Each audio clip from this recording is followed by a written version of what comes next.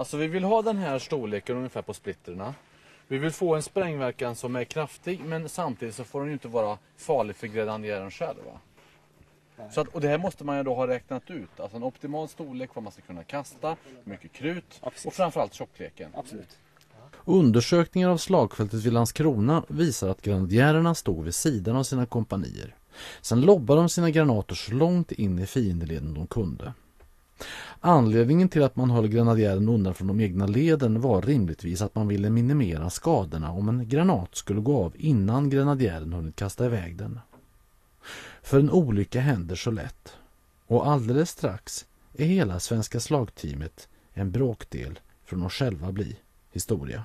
Men man ska vara medveten om att svartkrut är ju faktiskt ett av de känsligare ämnena. Va? Så att man ska hantera det försiktigt. Det behövs inte mycket. Ett, ett krutkorn som ligger någonstans som man lägger någonting på och så glider det och det går igång. Då tänder upp här krutet. Och där åkte den ja. Och. Just när vi står och talar om hur det räcker med en enda liten gnista för att granaten ska explodera så faller alltså granaten över en meter rätt ner mot det hårda stengruset. Och metall som slår emot sten kan verkligen slå gnister. Det som räddar oss är antingen ren tur eller gudomligt ingripande. För av alla ställen landar granaten på den lilla träbiten på marken. Och trä mot metall ger inga gnister. Fick du med fallet eller? Jätta. Ja. Då kör vi. Tre, två, ett.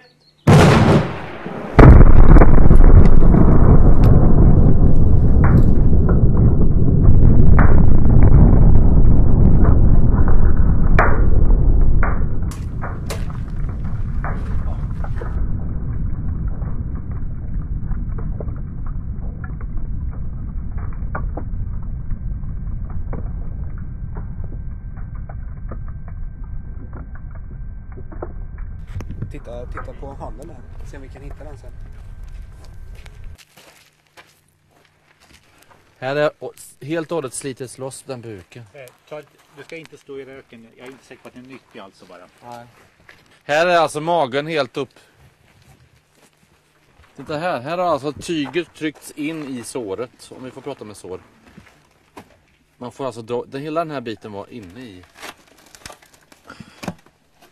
Och här, det, här har du det här som var så himla farligt. Tygfiber som följde med in. Och så här var det att man kommer hinka med lappen så fort som handgranaten hade smullat. Ja du.